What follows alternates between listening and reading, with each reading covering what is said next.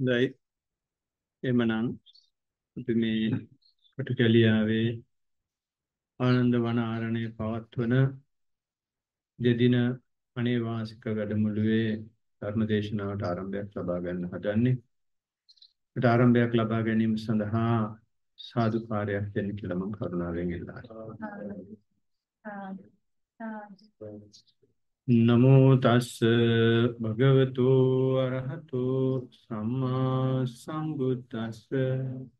නමෝ තස්ස භගවතු අරහතු සම්මා සම්බුද්දස්ස.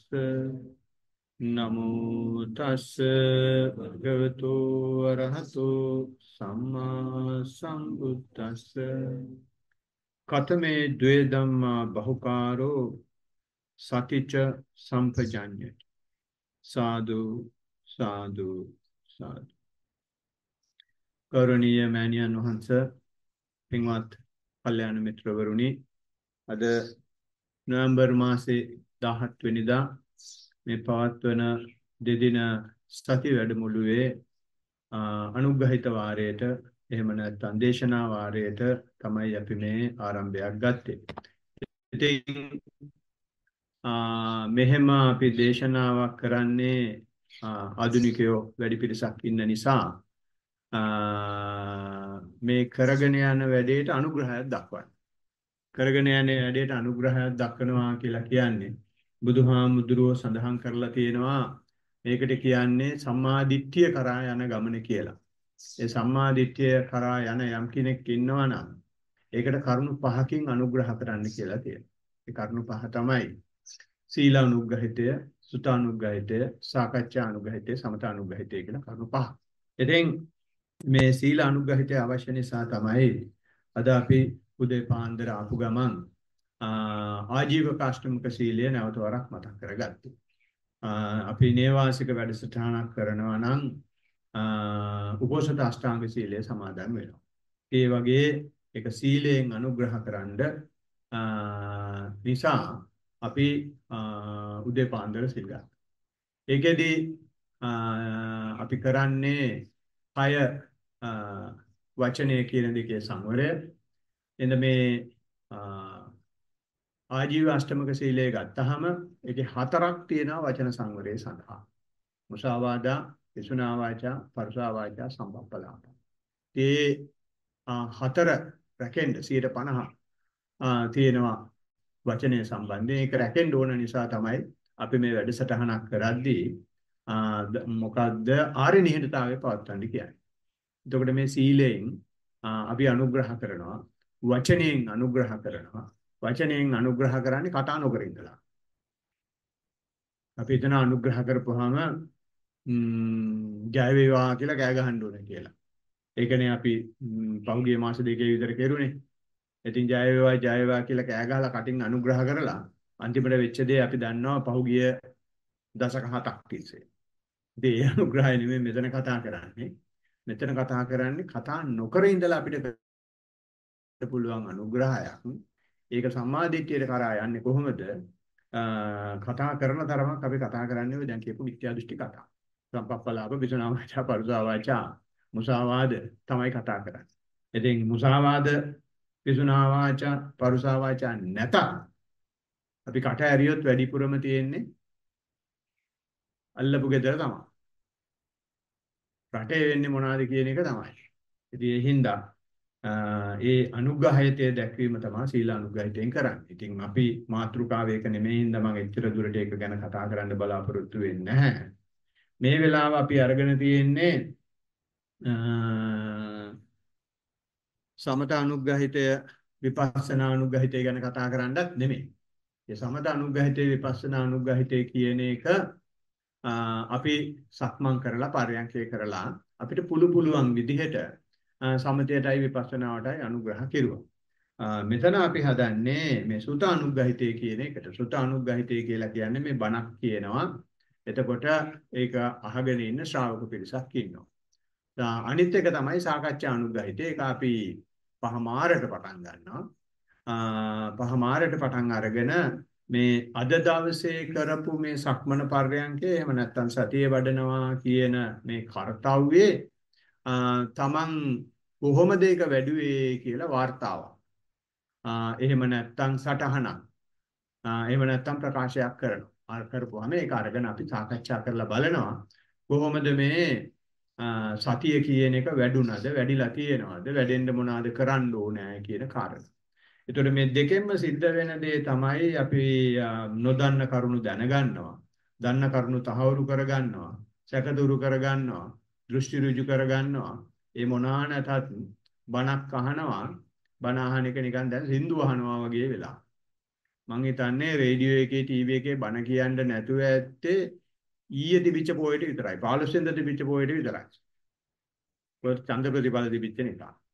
ඒව නැත්තම් හැම channel එකේම පොයට ඕන තරම් බණ තියෙනවා. ඉතින් බණ අහන එක විතරයි අපි කරන්නේ. ඒ අහන බණ අනුග්‍රහිතයක් කරන්න අවශ්‍ය කරන දේ කරන්නේ. ඒ හින්දා අපි මේ වගේ වැඩසටහනක් කරද්දී බණක් කියන්නේ භාවනා කරලා ඉවර වෙලා. ඊ අපි උදේ බණක් කිව්වා. ඒ බණ කිව්වේ මෙතන ලොකු ස්වාමින් වහන්සේ ඉන්න නිසා උන්වහන්සේ හැමදාම හැම සෙනසුරාදම කරන වැඩසටහනක් නිසා ඒකට සම්බන්ධ කරගත්තා.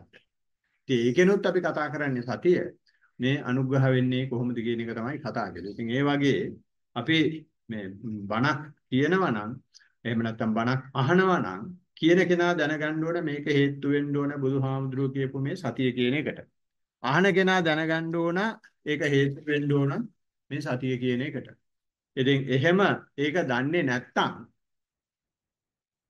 බණ අහලා නැගිටිද්දී අහපු ඒවා බීම. ඉතින් ඒ හින්දා මේ එඩ්වඩ් ජයකොඩි කියනවා බුදුබණ ඇසුවා නිරන්තරේ බුදුබණ දෙසුවා නිරන්තරේ ගතිගුණ අතින් අපි තාමත් වනාන්තරේ කියලා. ඉතින් බුදුහාමුදුරුවෝ වනාන්තරයට ගිහින් බණක් කිව්වා. ඒ බණේ කිව්වේ ඒ ඒ වනාන්තරයට ගියේ වනේ චරණය කරන්න මිසක් ගතිගුණ අතින් වනාන්තර වෙච්ච හින්දා නෙමෙයි. මනස පිරිසුදු වෙච්ච හින්දා කාම ලෝකයෙන් අයින් වෙන්න ඕන හින්දා බුදුහාමුදුරුවෝ වනාන්තරයට ගියා. ඉතින් අටුවා ටික පැත්තකට තියලා අපි අද මාතෘකාවට ආවොත් රතු මාතෘකාව තමයි මොකද්ද හතමේ ද්වේ ධම්මා බහුකාරෝ කියලා. මේ බොහෝ උපකාර වෙන ධර්ම දෙක මොකද්ද කියලා සාරිපුත්ත හාමුදුරුවෝ අහනවා වික්ෂුන් වහන්සේලාගෙන්. අහලා උන්වහන්සේම උත්තරයක් දෙනවා මේ බහු උපකාර වෙන කරුණු දෙක තමයි සතිච සම්පජඤ්ඤය කියලා. මම ඒක ගන්න හේතුව තමයි ඊයේ ලොකු හාමුදුරුවෝ මේ සතිය කියන එක පැහැදිලි කරද්දී සතියට සමාන වචනයක් බුදුහාමුදුරුවෝ ලොකු හාමුදුරුවෝ ඊයේ ගත්තා අප්පමාදය කියලා ඒක තමයි මේ ප්‍රමාද වෙන්න එපා කියන එක තමයි සතියට සතියට සමාන වචනයක් ත්‍රිපිටකයේ තියෙනවා තියෙන උන්වහන්සේ අරගෙන පෙන්වන්නේ. ඒ අප්‍රමාදය කියන එක මේ දැන් මේ අපි ගත්ත සූත්‍රය දසුත්තර සූත්‍රය කියන එකේ ඉස්සෙල්ලාම අහන ප්‍රශ්නේ ඒක. දැන් මෙතන කිව්වේ කතමේ ද්වේ ධම්මා බහුකාරෝ කියලා. අරකෙදී අහන්නේ කතමා ඒකෝ ධම්මා බහුකාරෝ කියලා. බොහෝ උපකාර වෙන එක ධර්මතාවය මොකක්ද කියලා අහනවා. එතකොට ඒකට අප්‍රමාදය කියලා කියනවා. ඉතින් ඒ අප්‍රමාදය කියන එකම දෙවෙනි ප්‍රශ්නය අහද්දී මේ අප්‍රමාදය කියන එක කොහොමද විකාශනය වෙන්නේ කියලා කොටස් දෙකකට කඩනවා. ඒක තමයි අප්‍රමාදයේ විකාශනය වෙන දින සතිච සතිය කියන එක අනිත් එක සම්පජඤ්ඤය කියන එක.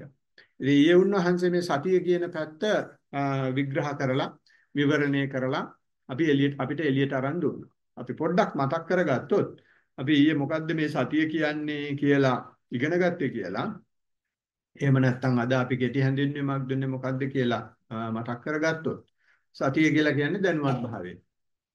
මම දැන් මෙතන කියන ලක්ෂය ගැන තියෙන දැනුවත් භාවයට තමයි සතිය කියලා කියන්නේ. එතකොට මේ මම දැන් මෙතන කියන ලක්ෂයට දැනුවත් භාවය ගන්නේ ඇයි කියලා අපි කතා කරුවොත් ඇයි කියලා අපි අහුවොත් මම දැන් මෙතන කියන එකට දැනුවත් භාවය ගන්න හේතුව තමයි අපිට දැනටමත් දැනුවත් භාවය තියෙනවා.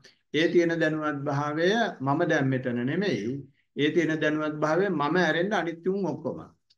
ඒගොල්ලෝ ගැන අපි දන්නවා. නළුව ගැන, නිලියෝ ගැන, ගායිකාව ගැන, ගායකයෝ ගැන, දේශපාලඥයෝ ගැන, විපක්ෂය ගැන ඔක්කොම අපි දන්නවා. මම ගැන දන්නේ නැහැ. දැන් ගැන දන්නේ නැහැ. ඊයේ ගැනයි හෙට ගැනයි දන්නවා. අතීතයයි අනාගතයයි දන්නවා. මෙතන ගැන දන්නේ නැහැ. අල්ලපු ගෙදර ගැන දන්නවා, ගම ගැන දන්නවා, නගරය ගැන දන්නවා, රට ගැන දන්නවා, විශ්වය ගැන දන්නවා, විශ්ව ගැන දන්නවා. ගොඩාක් දන්නවා. මේ මෙතන ගැන දන්නේ නැහැ. ඉතින් ඒ හින්දා අපේ මේ බාහිරයට විහිදලා තියෙන දැනුවත් භාවය බුදුහාමුදුරුවෝ කියන ඔහෙ තියාගෙන හරියන්නේ මෙහෙට ගනින් කියලා අභ්‍යන්තරාවර්ත කරනවා. ඒ අභ්‍යන්තරාවර්ත කරන්න අවශ්‍ය කරන ප්‍රධානම කාරණා තුන තමයි Taman ගැන වෙන්න ඕනේ අපි කතා කරන්නේ. දැන් ගැන වෙන්න ඕනේ අපි කතා කරන්නේ. මෙතන ගැන වෙන්න ඕනේ අපි කතා කරන්නේ. මේ කරුණු තුන ගැන කතා කරනවා නම් අපි විශ්වයේ තියෙන අඩුම ලක්ෂයට එනවා. ඒ අඩුම ලක්ෂයට එන්න අවශ්‍ය කරන ප්‍රධාන සාධකය තමයි මේ තුන ගැන දැනුවත් භාවය ගන්න එක. මොකද මේ තුන හැමදාම ඕගොල්ලෝ සංසාරයක් හිටියා නම් ඒ මුළු සංසාරෙම මේක තිබ්බා. මේක නැති වෙච්ච දවසක් තිබුණේ නැහැ. හැමදාම මේක තිබ්බා. වැඩක් නැහැ හැබැයි.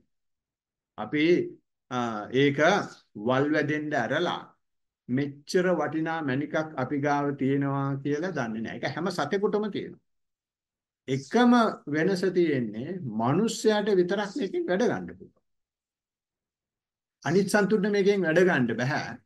මිනිස්සයාට විතරක් පුළුවන් මේ මම දැන් මෙතන කියන තැනට ප්‍රතික්‍රියා නොකර ඉඳීමේ එතනට අවධානය ගැනීමේ එතනට අවදිමත් වීමේ හැකියාව තියෙනවා. ආ ඒකට හේතුව තමයි මේ මිනිස්යාගේ ඉන්ද්‍රියන් යම් ආකාරයකට සමබරයි. අසකනනාසාදී කියනවා සමබරයි. ඒ හින්දා මිනිස්යාට තියෙනවා මේ එක ඉන්ද්‍රියකට වහල් නොවි ඉන්න. අනිත් සත්තුන්ට එහෙම නැහැ. ඒගොල්ලන්ගේ එක ඉන්ද්‍රියයි වැඩිපුර සමහර අයගේ කන් දෙක විතරයි. සමහර අයගේ දිව විතරයි. ඒගොල්ලෝ දිව එළියට දදා යන්න ඕන. සමහර මෙහෙම මෙහෙම කර කර යනවා නාසයෙන් තමයි ඒගොල්ලෝ ඒගොල්ලෝ ඔක්කොම කරන්නේ. ඉතින් ඒ හින්දා මේ මිනිස්යාගේ මේ තියෙන විශේෂ හැකියාව නිසා මිනිස්යාට හැකියාවක් තියෙනවා මේ මම දැන් මෙතන කියන විශ්ව ලක්ෂයට අවදිමත් වෙන්න දැනුවත් භාවයේ පවත්වන්න අවධානය පවත්වන්න අන්න එහෙම කරන්න පුළුවන් නම් එයාට මන උස් කියලා කියනවා. මනස උසස් කියලා කියනවා. එතකොට තමයි මනුස්සය වෙන්නේ.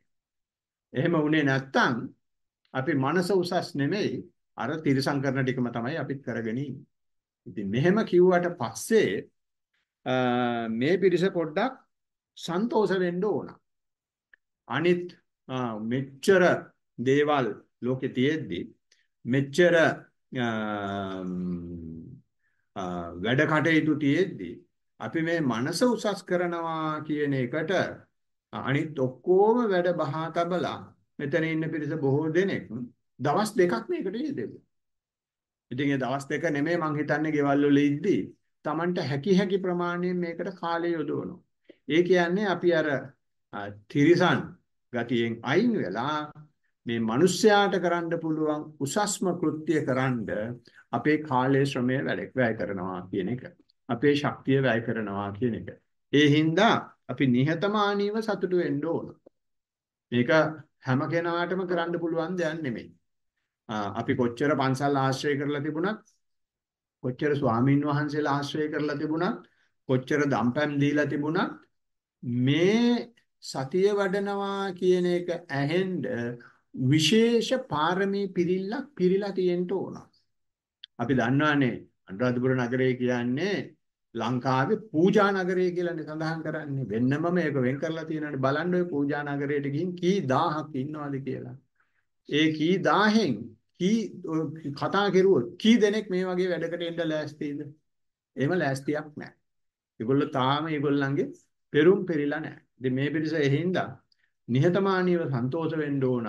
අපේ පෙරුම් පෙරලා තියෙන නිසා තමයි මේක අහන්න හම්බුනේ. මොකද අපි වුණත් මෙතනට ආවේ නැහැ අහසෙන් පාරෙලා. අපිත් ඔය වටවන්දනාවේ ගියා. ඔය කරන්න තියෙන ඒවා කෙරුවා. ඒ කරන්න කරන්න කරන්න කරන්න අපේ මොලේ වෙන පැත්තකට වැඩ කරන්න පටන් ගත්තා. අපිට තේරෙන්න පටන් ගත්තා. මේ වම විතරක් කොර කොර ඉඳලා හරියන්නේ නැහැ කියන එක අපේ సంతානයේ කොහේ හරි වැඩ කරපු නිසා තමයි කවුරු හරි කියපුවාම හිතුණ ටක් ගාලා මේකට ක්ලික් වෙන්න ඕනෑ කියන අදහස එන්නේ. ඉතින් එහෙම ඇවිල්ලා මේ සතිය කියන එක අහගෙන අපි දැන් සතිය වඩලා තියෙනවා දවස් දෙකක් කන්තෝරු යනවා වගේ පාන්දර 7ට ඇවිල්ලා අපි පහමාර 6 වෙනකන් දවස් පැය 10ක් 12ක් මේ වැඩේට කැප වුණා. ඉතින් ඒ කැප වුණාට පස්සේ මේ සතිය කියන එක බොහොම තදට ශීඝ්‍රයෙන් වැඩෙන්න පටන් ගන්නවා.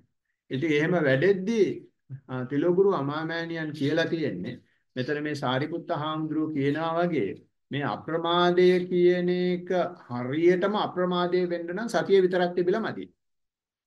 ඒකට සම්පජඤ්ඤය එකතු වෙන්න ඕන. සම්පජඤ්ඤය එකතු වෙනවා කියලා කියන්නේ මේ සතිය කියන එකට ඥානය එකතු වෙන්න ඕන. මොකද්ද ඥානය කියලා කියන්නේ? අපි මේ පොතේ තියෙන ඥානය නෙමෙයි. අපි හිතන් ඉන්න ඥානය නෙමෙයි. ඥානය කියලා කියන්නේ මුකුත්ම නොකර ඉන්න පුළුවන් දක්ෂතාවය. යමක් කරනවා නම් ඒ කරන තැන තියෙන්නේ ඥාණයෙන් එහාට යන එක. මුකුත්ම නොකර ඉඳීමේ දක්ෂතාවයක් තියෙනවා නම් අන්නේ දක්ෂතාවය හරහා අපිට ඥාණයට යන්න පුළුවන්. මම උදාහරණයක් කියන්නම් මෙහෙම. ඒක ලොකු හාමුදුරුවන්ගේ උදාහරණයක්. ලොකු හාමුදුරුවෝ කියනවා ඒ දවස්වල CS විභාගේ තියෙන්නේ නේද? සිවිල් සර්වන් විභාගේ තියෙනවානේ. මේකට ගියාට පස්සේ පාස් වෙලා ඉන්ටර්විව් එකක් තියෙනවා. ඉන්ටර්විව් එකට ගියාට පස්සේ ඉන්ටර්විව් එකේ අහනවා තියෙනවා මහවැලි ගඟේ දුර කීයද කියලා.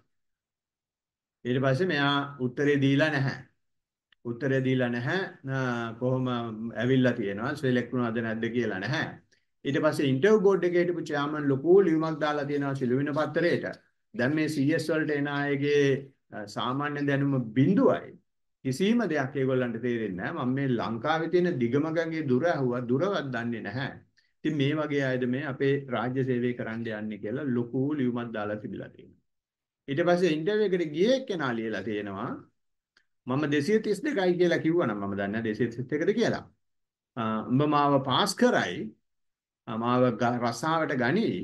හැබැයි උඹ කොහොමද කියන්නේ මහවැලි ගඟේ තියෙන වතුර ටික ওই 232 පටන් ගන්න තැන ඉඳලා විතරයි පටන් ගන්න කියලා. එතනින් එහා තිබිච්ච වතුර මෙතෙන්ට එන්නේ නැද්ද? කියලා හොන්දට පළු පැනෙන්න අහලා බැනලා දීලා තියෙනවා. ඉතින් ඇයි මම මේක කියන්නේ? අපි මේ මුකුත් නොකිරීම නිසා අර මේ මහවැලි ගඟේ දිග අහවල් තැනයි කියලා කියපු නිසා අපි ඒක 272යි කියලා කියනවා. එහෙම නොකියුවා නම් මේ වතුර කොහෙටද තව එන්නේ කියලා අපි බලන්න ඕනනේ. එතකොට මේ මහවැලි ගඟේ දිගේ තව ඥානය වැඩි වෙනවනේ. ඒ වගේ අපිටත් මේ වෙන දේ දිහා බලාගෙන හිටියහම ආස්වාස ප්‍රස්වාස දිහා බලාගෙන හිටියහම මේ බලාගෙන ඉන්න එකේ අපිට මුලින් තේරෙනවා ආස්වාසයේ නහය දිය නහයට බලාගෙන ඉන්නවා නම් නිකන් මේක කඩාගෙන ඇතුළට යනවා වගේ දැනෙනවා.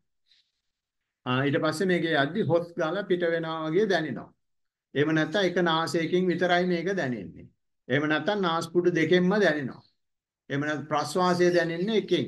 ප්‍රස්වාසය එහෙම නැත්නම් දෙකෙන්ම දැනෙනවා. අපි හිතන් ඉන්නවනේ නාස්පුඩු දෙකෙන් සම සමව මේක යනවා කියලා. හොඳට කිට්ටු වෙලා බලපුවම සමහර කෙනෙකුට එහෙම නොවෙන්න පුළුවන්.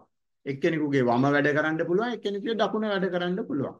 මේවා අපි දැනගෙන හිටියේ නැහැ. මොකද ඒවා අපි හිතනවා අපිට අත්‍යවශ්‍යයෙන්ම තියෙන දේවල් මෙහෙම වෙන්න ඇති කියලා. ඉතින් මේකට මේ කිට්ටු වෙලා බලපු නිසා මේ වගේ දේවල් පේන්න පටන් ගන්නවා. අපිට පපුවට හිත තියන් ඉන්න කෙනෙකුට එහෙම නැත්නම් යටිබඩට හිත තියන් ඉන්න කෙනෙකුට එයාට තේරෙනවා මේ ආස්වාස කරද්දි මේක පිම්බෙනවා ප්‍රස්වාස කරද්දි හැකිලෙනවා.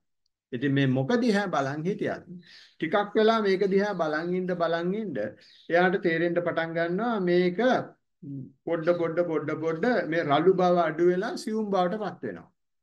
දිග බව අඩු වෙලා කෙටි බවට පත් වෙනවා.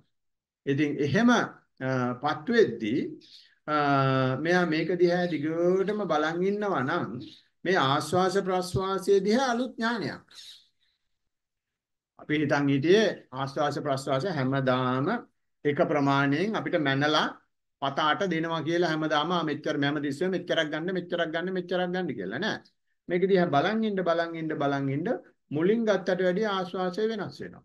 ප්‍රස්වාසය වෙනස් වෙනවා. මේක දිහා බලන් ඉන්න බලන් ඉන්න ඉස්සෙල්ලා ආස්වාසයේ දිහා ටිකක් වෙලා බලාගෙන ඉන්න ඕන මේක දැනෙන්න. දැන් එහෙම බලන් ඉන්න ඕන ඉඳ ගත්තු ගමන් අපිට පපුව දැනෙන්න පටන් ගන්නවා බඩ දැනෙන්න පටන් ගන්නවා නාසයේ ආස්වාද ප්‍රස්වාස දැනෙන්න පටන් ගන්නවා. වෙලාවක් කියන්නේ නැහැ. ඉතින් ඔය වගේ මේකට කිට්ටු වෙන්න කිට්ටු වෙන්න කිට්ටු වෙන්න මේ ආස්වාසය පටන් ගන්න විදිහ පාවා පේන්න පටන් ගන්නවා. ඒක හොඳට මුහුකුරා ගියාට පස්සේ වෙන தත්ත්වෙ පේන්න පටන් ගන්නවා. ඊට පස්සේ ප්‍රස්වාසයට යන්න ඉස්සෙල්ලා ඊ එක්කෙනෙක් ලියලා තිබුණා මේ ඒ අතරේ පොඩි පරාසයක් තියෙනවා. පොඩි පරතරයක් තියෙනවා. පොඩි හිදසක් තියෙනවා. ඊට පස්සේ තමයි ප්‍රස්වාසය පටන් ගන්න. අපි එහෙම නෙමෙයි හිතන් හිටියේ ආස්වාසය ඉවර වෙච්ච ගමන් ඩුස් ගාලා ප්‍රස්වාසය පටන් ගන්න. ඉතින් ඒ වගේ තොරතුරු ගොඩාක් එනවා. ඉතින් අපි දොස්තරලා එහෙම නැත්නම් සෞඛ්‍ය විද්‍යාවේ කියලා තියෙන විදිහට ආස්වාසය මෙහෙමයි ප්‍රස්වාසය මෙහෙමයි කියලා හිතාගෙන හිටියානම් මේ ප්‍රස්වාසය ආස්වාසය හේතු දන්නේ නැහැ. ඒ විතරකුත් නෙමෙයි. බුදුහාමුදුරුවෝ කියලා දෙනා මේක දිහා බලාගෙන ඉන්න බලාගෙන ඉන්න බලාගෙන ඉන්න මේ කොඩු වෙලා නැති වෙලා යනවා විතරකුත් නෙමෙයි. මේ ආස්වාස ප්‍රස්වාසය කයට හිත තියාගෙන බලාගෙන හිටියට පස්සේ එයාට ආස්වාස ප්‍රස්වාසයේ හීන වෙන්න හීන වෙන්න හීන වෙන්න වැඩිපුර කය දැනෙන්න පටන් ගන්නවා කියලා. ඊට පස්සේ එයා කියනවා මං ආස්වාස ප්‍රස්වාසයේ දිහා බලන් ඉද්දී මගේ මේ කය මෙන්න මේ මේ මේ මේ විදිහට මගේ කය දැනෙනවා. පය ගැහෙනවා, වෙවුලනවා, වරව වෙනවා, මේවා වෙනවා කියලා මං ඕනට දෙය කියන්නේ නැහැ. මොකද වාර්තාවල ලියනවා. ඉතින් තමන්ට වෙන එක ලියන්නේ නැහැ. ඉතින් මේ කයට කයට හිත ගියාට පස්සේ එක එක විදිහට මේ කය දැනෙන්න පටන් ගන්නවා. ඉතින් එහෙම කය දැනෙනවා කියලා කියන්නේ මේ පටන් ගත්තේ ආස්වාසයෙන්. පටන් ගත්තේ ප්‍රස්වාසයෙන්. ගොරෝසු එකෙන්. දැන් එයාට ආස්වාස ප්‍රස්වාසයේ දිහා බලන් හිටියත් ඒකට වැඩිය කය පේන්නේ. මේ කොහොමද මේ දැන් මේ මේක තමයි මේ විදිහට තමයි මේ ඥාණයට යන්නේ. ආස්වාස ප්‍රස්වාසයේ දිහාම බලන්න ඕනේ කියලා නීතියක් දාලා තිබුණා නම් මේක කෙටි වෙද්දි ආයි මයින්හමට උලං ගන්නවා. හුලං ගහලා මේක කයට දැනෙන්න බෑ නැහැ. ආයේ මේ අර වාසෝ සාසෝස් ගාලා ආස්වාද ප්‍රසවාස කරනවා. ඉතින් මේක තමයි මම කිව්වේ මුකුත් නොකිරීමේ කලාව. තමයි අපිට ඥානය ගෙන දෙන්නේ. මොනවා හරි දැන් අවාසනාවකට මම හිතනවා කපෙලියට හෙන්න නැතුව ඇති කියලා බා විශාල ප්‍රසිද්ධ භාවනා මධ්‍යස්ථාන ගොඩාක් තියෙනවා මේ ආස්වාද ප්‍රස්වාස හීන වුණාම දෙතිස් කුණුපේ කරන්න කියන. ආස්වාද ප්‍රස්වාසයේ හීන වුණාම මෛත්‍රී කරන්න කියන. ආස්වාද ප්‍රස්වාසයේ හීන වුණාම නවතීවතකේ කරන්න කියන. ඔන්න අපිට වෙලා තියෙන වැඩේ. බුදුහාමුදුරුවෝ කියන්නේ මේක සම්පංජ සම්පජන්‍ය වෙන්න නම් ඕක දිහා බලාගෙන ඉන්නේ. ආනාපාන පබ්බේ ආනාපාන සති සූත්‍රයේ මේ උපාංගෙම කියලා තියෙන්නේ. ඒක දිහා බලන් ඉතින් මේක නැත් ආස්වාද ප්‍රස්වාසය දැනෙන්නේ නැතුව ගියාට පස්සේ ඇඟිලි ගහන්න යන්න එපා. එතකොට කය දැනෙනවා නම් කය බලාගෙන. ආය ආස්වාද ප්‍රසවාසයක් හොයන්න යන්න එපා. ටීයේ දෙන්නෙක් විතර ලියලා තිබුණා. මේ වේදනාව යන්තම් යන්තම් දැනෙච්ච නැති ගමන් සමනය වෙච්ච ගමන් ආය ආස්වාද ප්‍රසවාසයට ගත්තා කියලා. එහෙම ගන්න යන්න එපා. මොකක් කරන්ට යන්න එපා. කරපු ගමන් අපි ගමන භාගයක් ගිහින් ආයෙ ගෙදර යනවා වගේ. ආයෙ ගමන පටන් ගන්නවා. එහෙම නැතුව මේ ඥානය ආවට පස්සේ ඊට පස්සේ ඒක දිගේ අපි එතන හිත තියාගෙන ඉන්නවා. දැන් වෙලා තියෙන්නේ ඒ අවස්ථාව. ඉතින් මෙහෙම කය දිහත් බලාගෙන හිටියොත් ටිකක් අමාරු වෙන්න පුළුවන්. කයට හිත ගියාට පස්සේ හුස්ම දැනෙන්නේ නැතුව ගියාට පස්සේ අපේ මනස කියනවා දැන් උඹ මැරෙන්න යන්නේ. හයියෙන් හුස්මක් ගනින් කියලා ඕන තරම් කියනවා. ඕන තරම් හයියෙන් හුස්මක් ගන්නවා. මම හිතන්නේ ඊයේ මේ වැඩසටහනේ හරි උදේ පාන්දර කරපු වැඩසටහනේ හරි එක්කෙනෙක් කිව්වා හයියෙන් හුස්මක් ගන්නවා කියලා එහෙම. එහෙම ගන්න එපා. අපි කියන්නේ උත්සාහ කරන්න ඕන. එක සැරේ බැරි වුණාට කමන්නේ උත්සාහ කරන්න ඕන මේ ආස්වාස ප්‍රස්වාසය හිඳිලා Tamanට තේරෙනවා නම් දැන් මෙච්චර කල් මම හැමතිස්සෙම සංසිඳුණාට පස්සේ දිගෙන් ආස් හෝස් ගාලා ආස්වාසය ප්‍රස්වාසය අරිනවා නම් මොන වෙලාවක හරි බලන්න ඕනේ නම් මං දැන් ආස් හිතාමතා ගොරෝසු ආස්වාස ප්‍රස්වාසයක් ගන්නෙ නැහැ. මං ශරීරයට අරිනවා ආස්වාද ප්‍රසවාස ගන්න කියලා ශරීරය දිහා බලන්න. එහෙම බලන් ඉන්න පුළුවන් වුණොත් අපිට අවස්ථාවක් එනවා. අපි ඔහේ බලාගෙන ඉන්නවා. අය දැනෙන්නෙත් නැහැ. ආස්වාද ප්‍රසවාස දැනෙන්නෙත් නැහැ. බුදුහාමුදුරුවෝ කියනවා පස්සම් බයං කාය සංකාරං අස්ස සිස්සාමිති සික්කති පස්සම් බයං කාය සංකාරං පස්ස සිස්සාමිති සික්කති කියලා. මේ කයේ සිද්ධ වෙන සංස්කාර. අවම සංස්කාරය තමයි ආස්වාද ප්‍රසවාසය. ඒක තේරෙන්නේ නැහැ. ඉඳගෙන ඉන්නවා. කකුල තියනවාද කියලා දැනෙන්නේ නැහැ. අත් තියනවාද කියලා දැනෙන්නේ නැහැ. ඇඟ තියනවාද කියලා දැනෙන්නේ නැහැ. ඒ තරමටම මේක පස්සම්බණය වෙලා යනවා. ඉතින් මෙහෙම යන්න පුළුවන් වෙනවද අපි ආස්වාස ප්‍රාස්වාසයේ එල්ලිලා හිටියොත්? ආධුනිකයින්ට කියනවා බයක් තියෙනවා නම් සැකක් තියෙනවා නම් නැවත වරක් ආස්වාස ප්‍රාස්වාසයට ආවට කමන්නේ නැහැ කියලා. මොකද මේක ගෙවිගෙන ගෙවිගෙන යද්දී දැන් මට කජ්ජ ගහන්න යන්නේ කියලා බය වෙන්න පුළුවන්. මොකද වෙන්නේ කියලා. එහෙම බය වෙන වෙලාවට ආස්වාද ප්‍රසවාසයෙන් ගත්තට කමන්නේ නැහැ කියලා කියනවා. හැබැයි මං නම් කියනවා ඒත් ගන්න එපා. වැඩි මොනොත් නරණ එක වෙන්නේ.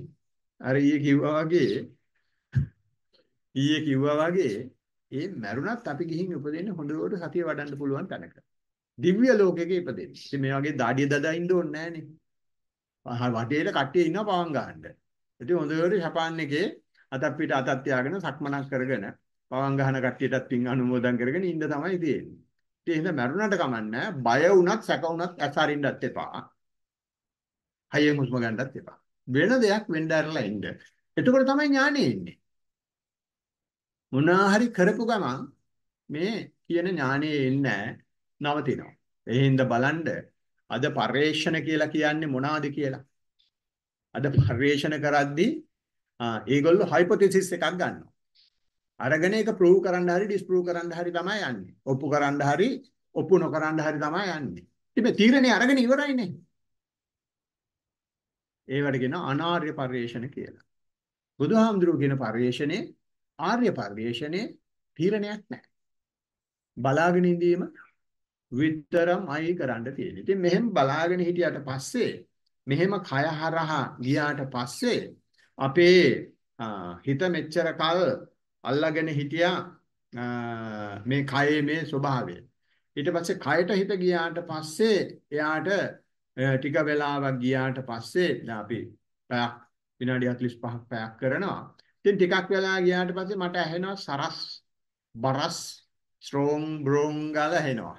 මේ කකුල් දෙක අරිනවා කකුල් නමනවා ඉස්සෙනවා පාත් වෙනවා සද්ද ඇහෙනවා ඉතින් ඉතින් මේ ඒක කියන්නේ මේ කයට දැන් සම්පූර්ණයෙන් හිත ඇවිල්ලා කයට සම්පූර්ණයෙන් හිත ඇවිල්ලා ඒ කයට සම්පූර්ණයෙන් හිත ආවට පස්සේ කය පණිවිඩයක් නිකුත් කරනවා මෙන්න දැන් කයේ ඉන්නේ කියලා. ඒ පණිවිඩේ නිකුත් වෙන්නේ ඒ නිකුත් කරන පණිවිඩයට අපි කැමති නැහැ. ඒක ටිකක් පීරි ගාන සුළුයි. ඒක නිකක් කපන සුළුයි. ඒක ටිකක් පුච්චන සුළුයි. මේ අලුත් ඥානයක් දෙන්නේ. මේ කය දැනෙන ස්වභාවයට අපේ මනසෙන් තියෙන විරුද්ධතාවයක් තියෙනවා. මනසෙන් තියෙන द्वේෂයක් තියෙනවා. ඉතින් බුදුහාමුදුරුවෝ කියනවා ඕක හරහා යන්න නම් කොට කියනවා වේදනාව කියලා දුක්ඛ වේදනාව කියලා. ඕක හරහා යන්න නම් ඉතින් පස්ස හොල්ලලා හරියන්නේ නැහැ. පස්සට වෙන දෙයක් වෙන්න කියලා අපි බලාගෙන ඉන්න පුළුවන් වෙන්න ඕන ඒක. දැන් මම මෙහෙම ඉඳගෙන ඉද්දි මට නිකන් චපාන්නේ නැහැ. මම මේ දකුණු කකුලේ මෙතන ඉඳලා පිටිපස්සට එනකන් එක ලයින් එකට එක ලයින් එකට ගිනි ගන්නවා. ඒක දිහා බලන් ඉන්න ඕනේ. මේ බලන් ඉන්න බලන් ඉන්න බලන් ඉන්න චිත්තක්ෂණයක් පාසා අපේ ඒ කෙරෙහි තියෙන द्वේෂය තමයි අඩු වෙන්නේ. ඒ द्वේෂය අඩු කරගන්න මේ මුකුත් නොකර ඉන්න හැකියාව ඥානයක්. එතකොට වේදනාව කොච්චර ආවත් ප්‍රශ්නයක් නැහැ. අපි කය හරහා ගියා. කයට සම්පූර්ණයෙන් හිත ආවා. කියන සහතිකය තමයි වේදනාවෙන් දෙන්නේ. ඉතින් ඒක දුන්නාට පස්සේ මේ පස්ස පොඩ්ඩක් එහෙට මෙහෙට කරලා අපි ඒකෙන් අපිට ගන්න තියෙන ඊළඟ ඥානයට යන්න හම්බෙන්නේ කොහොම හරි ඊයේ එක්කෙනෙක් ඒක ලියලා තිබුණා. එයා වේදනාව දුක හරහා ගිහින් එක අවස්ථාවක් ආවා කියලා ඒ දුක නැති වෙගෙන යද්දි නිදිමතට වැටුණා කියලා. ඒ දුක නැති වෙගෙන යද්දි නිදිමතට වැටෙනවා කියලා කියන්නේ අපි දුක ඉවර වුණාම සාමාන්‍යයෙන් යන්න ඕනේ සැපට. ඒකනේ දුක ඉවර වෙනවා කියලා කියන්නේ. දුකක් දුක අඩු වෙනවා කියලා කියන්නේ සැපට යනවා කියන්නේ. හැබැයි හොඳට බලාගෙන හිටියොත් මේ සැපට යන්න ඉස්සෙල්ලා අර ආස්වාස ප්‍රස්වාසයේ මැද්දේ හිස්තන තියෙනවා වගේ සැපට යන්න ඉස්සෙල්ලා මේ දුකත් දුක් මොනවාද ඒකට කියන්නේ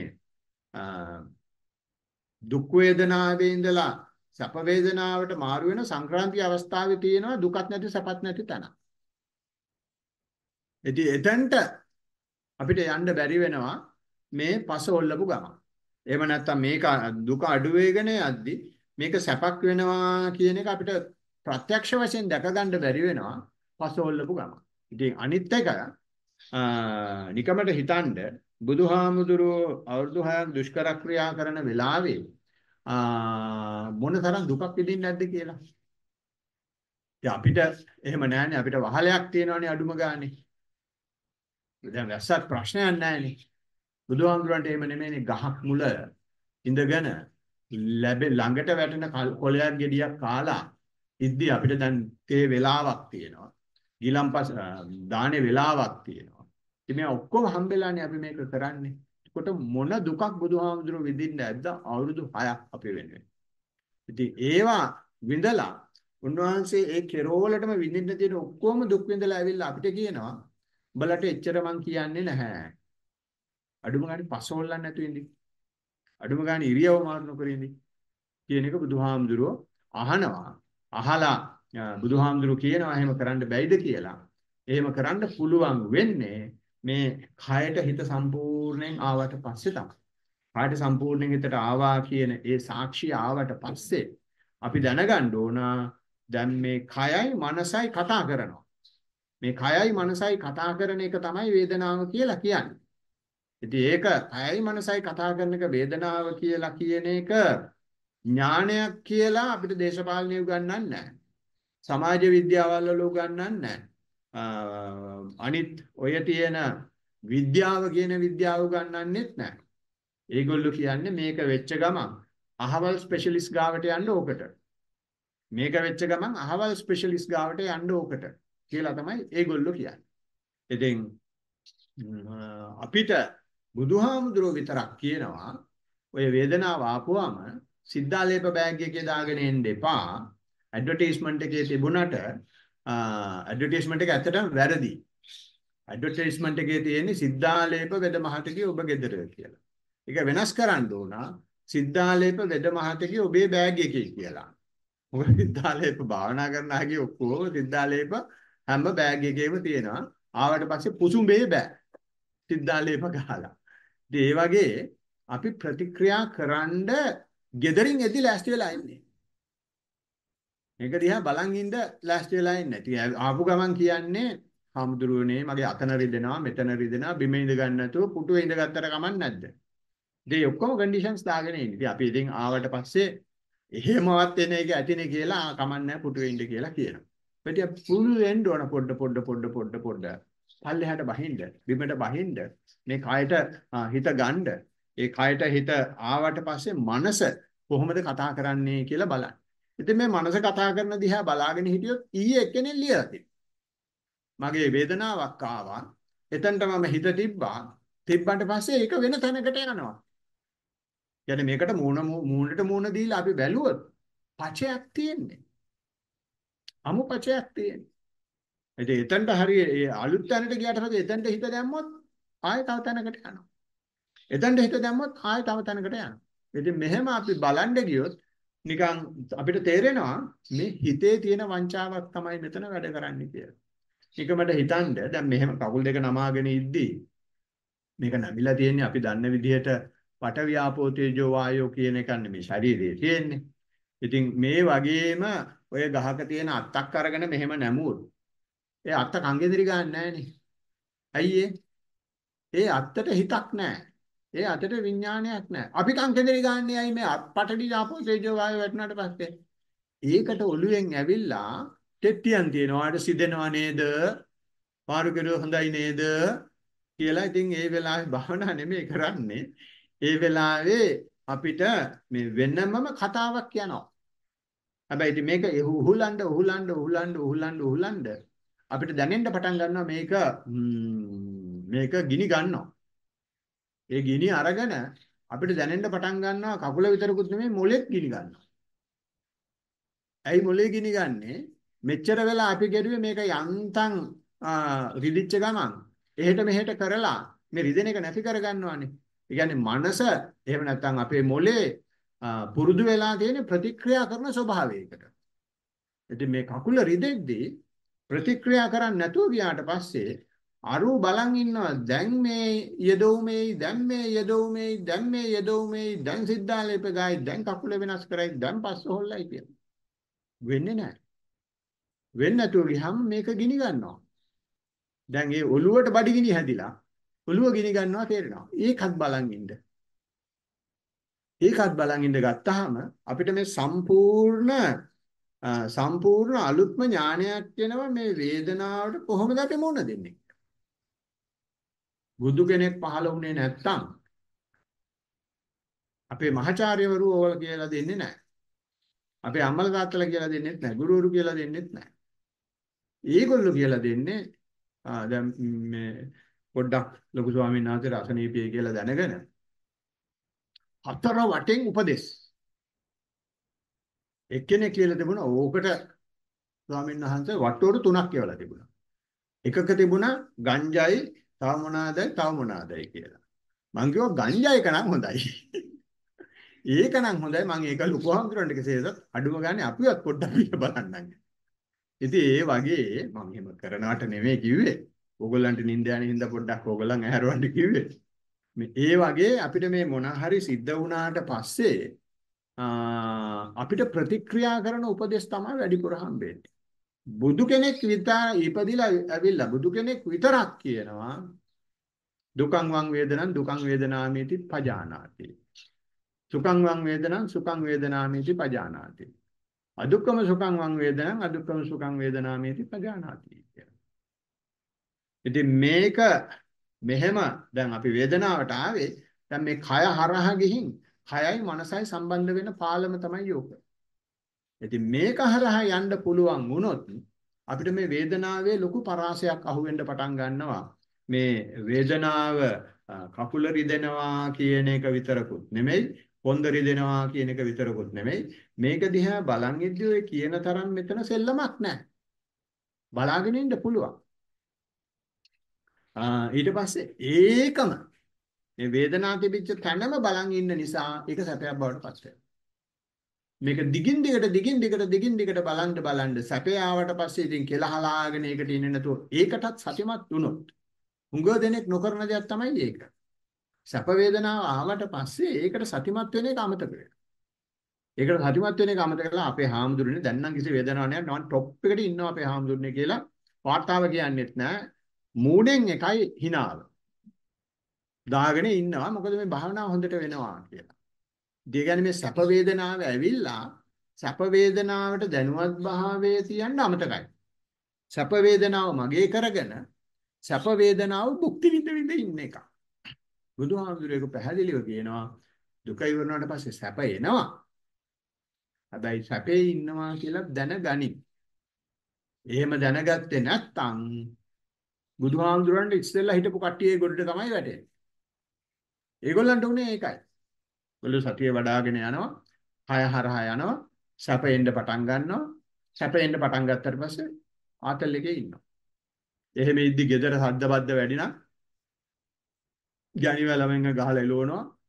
එහෙම නැත්නම් ඌ ගෙදරින් යනවා. ගිහින් වත් කෙරෝලේ තනක් හදාගෙන එතන විතරයි ඉන්නේ.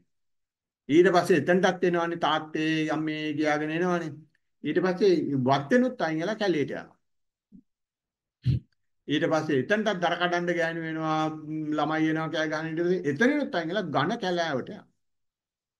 එතනත් මිනිස්සු වෙනවා දඩයක් කාර වෙනවා සත්තු මරන්න කියලා හිමාලයට යනවා මොකෙක්වත් එන්න බැරි තැනට. ඇයි මේ මේ තමන් භාවනා කරලා ආපු සැපේ පවස්වන්න. බුදුහාමුදුරුවෝ කියනවා ඕකේ පවත්තන්න දෙයක් නැහැ. ඕකට යනවා භාවනා කරද්දී ඕකට යනවා ඒක ස්වභාවිකයි. එතනට ගියාට පස්සේ මම මේ සැපෙන් ඉන්නවා කියලා දැනගෙන ඉන්නේ. කියන එක කියනවා සුඛං වං වේදනං සුඛං වේදනාමිති පජානාති කියලා. ඉතින් මේ පරාසය අපිට අහු වෙන්නේ නැහැ. අර මහවැලි ගඟේ දිග වගේ අතන අතන ඉඳලා මෙතනට විතරයි කියලා කිව්වනම්. මොකක් හරි මෙතනට ආවට පස්සේ මොකක් හරි කරන්න කියලා කිව්වනම් අපි ප්‍රතික්‍රියාවක් කරනවා මිසක් එතනින් එහාට තියෙන දේ බලන්න හම්බෙන්නේ නැහැ. ඒ හින්දා මේ ඥාණය සම්පජඤ්ඤ කියන එක ඇති වෙන්න නම් එතකොට මේක මුකුත් නොකර පුළුවන් තරම් බලන් ඉන්න උත්සාහ කරන්න ඕනේ. මුලින් බැරි වෙන්න පුළුවන්. මේ භාවනා කරනවා කියලා වඩනවා කියලා අපි වඩන්නේ ඕකයි. මේ මුකුත් නොකර ඉන්න පුළුවන් හැකියාව මට උත්සුක කරගන්න බැයිද? මට උග්‍ර කරගන්න බැයිද? ඒක ඒක අනිවාර්යෙන් පුළුවන්. මට මතකයි මම භාවනා කරන්න පටන් ගද්දි විනාඩි 5න් පටන් ගත්තේ. එහෙම පටන් අරගෙන දන්නේම නැහැ එක දවසක් විනාඩි 5 ඉඳගත්තු ගමන් ඉවරයි. එදා මට තේරුණා මෙතන තියෙනවා මොනවා හරි මීට වැඩිය දෙයක් කියලා. ඊට පස්සේ ගෙලින්ම විනාඩි 5 ඉඳලා විනාඩි 15ට ගියා. ඊට පස්සේ විනාඩි 15 විනාඩි 5 5 5 5 වැඩ කරලා පැය පැයක් ඉන්නවා කියන කිසි ප්‍රශ්නයක් නැති ගානට ආවා. ඉතින් මම මේ පැයක් ඉන්නවා එක ගැන කතා කරනවා. හුඟ දෙනෙක් ඉන්නවා පැය දෙක තුන ඉන්න පුළුවන්. හැබැයි Taman ඉඳගෙන ඉන්න එකේ කාලයෙන් නෙමෙයි සතිය වැඩෙනවද කියලා මැනෙන්නේ. ඒක මැනින්නේ ඒ කොච්චර ඉඳගෙන හිටියත් ඒ ඇතුලේ වෙන්නේ මොනවද කියලා Taman දන්නවද නැද්ද කියන එක. නැත්තම් සැපේට ගිහින් හිර වෙලා අපිට ඕන තරම් ඉඳගෙන ඉන්න පුළුවන්. ඉතින් ඒක ඒක සතිය තියනවාද කියන එකට නිර්ණයක් නෙමෙයි. සම්පජඤ්ඤ වැඩෙනවාද කියන එකට නිර්ණයක් නෙමෙයි.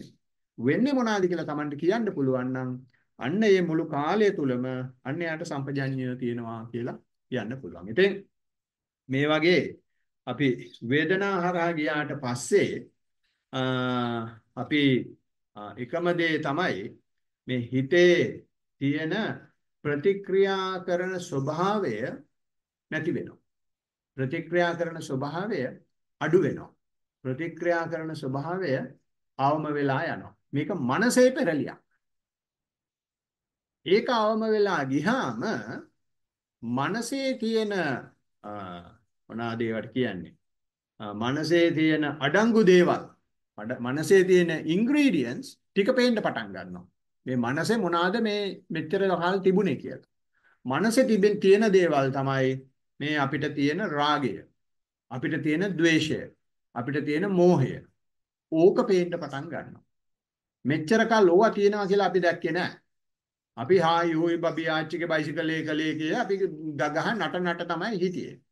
ඉතින් ඒව අයින් වෙලා හුස්මට හිත දාලා හුස්මට හිත දාපුවම හුස්මේ එන සැපේටත් අපි අහුවෙන්නේ නැතුව ඒක දිහත් බලන් හිටියට පස්සේ මේ ඉඳගෙන ඉද්දීනේ දුකටත් අපි අහුවෙන්නේ නැතුව ඒක දිහත් බලන් හිටියට පස්සේ මේ ප්‍රතික්‍රියා කරන මනස නැති වෙලා මේ මනස ඇතුලේ තිබුණේ මොනවද කියලා පේන්න පටන් ගන්නවා. ඉස්සර ඕවා එළියට එන්න දුන්නේ නැහැ. බුදුහාමුදුරන්ට ඉස්සෙල්ලා මේවා එළියට එන්න දුන්නේ නැහැ. අපි පුළුවන් තරම් සැප පවත්තන්න සැප පවත්තන්න සැප පවත්තන්න කියලා අර මං ඉස්සෙල්ලා කිව්වා වගේ කැලේ ඇතුළට ඇතුළට ඇතුළට යන එක විතරයි කෙරුවේ. ඉතින් බුදුහාමුදුරුවෝ කියනවා එහෙම කරන්න එපා. ඔක දිහා බලන් ඉඳි. කොහෙවත් යන්න එපා. ඒ ගියාට පස්සේ මෙන්න දැන් ප්‍රතික්‍රියා නොකරන්න නොකරන්න ප්‍රතික්‍රියා කරන්න කියලා කිව්වේ ඇයි කියලා පෙන්න පටන් ගන්නවා. අපි ප්‍රතික්‍රියා කරන්නේ අපි මේ තියෙන කාමයට තියෙන ආසාව. එතන බුදුහාමුදුරුවෝ කියනවා රාගය කියලා. අනිත් පැත්තේ ඒකේ අනිත් පැත්තේ තියෙන ද්වේෂය. ඉතින් මේ දෙක ප්‍රධාන වශයෙන් එන්න පටන් ගන්නවා. කියනවා මේ වේදනාව අඩු වෙගෙන ගියාට පස්සේ හාමුදුරනේ මට හරියට හිතුවිලි එනවා කියලා. ඉස්සරක් තිබ්බා. ඉස්සරත් ඔය හිතුවිලි හින්දා තමයි අපි සිද්ධාලේප ගෑවේ. දැන් සිද්ධාලේප නොගාන නිසා සිද්ධාලේප ගාන්න කියලා කියන එකව අහුවෙනවා. උඩගෙඩි දෙන මිනිස්සයව අහුවෙනවා.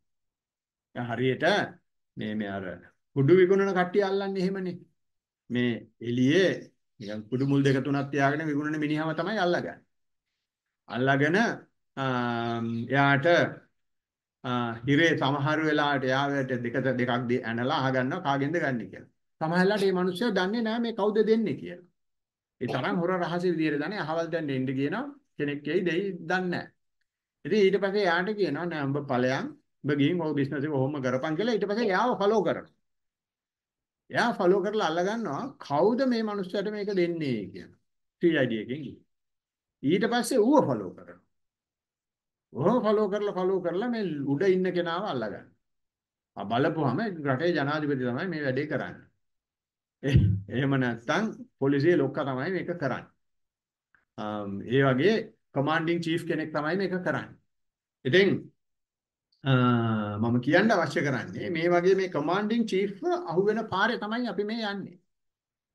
ගියාම මේ හිමීට හිමීට හිමීට වෙන්නේ නැහැ වෙන්නේ මොනවාද කියලා බලාගෙන ඉඳලා මුකුත් නොකර පරීක්ෂණයක් කෙරුවට පස්සේ අපිට මේ රාග ద్వේෂ ආවට පස්සේ බුදුහාමුදුරුවෝ කියනවා මෙතෙන්දි මොනා කරන්න කියලාද කියන්නේ?